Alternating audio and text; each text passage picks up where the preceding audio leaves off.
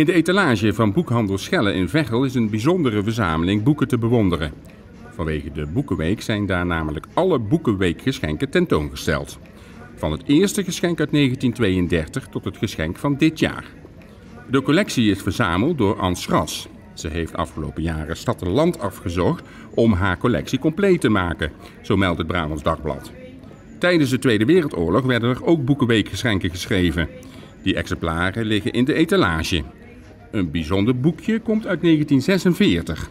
Omdat papier schaars was na de oorlog, is dat boekje extra compact gemaakt. Daardoor valt het erg op tussen de andere geschenken. De collectie is nog tot en met zondag te bewonderen. Dan is de Boekenweek namelijk afgelopen.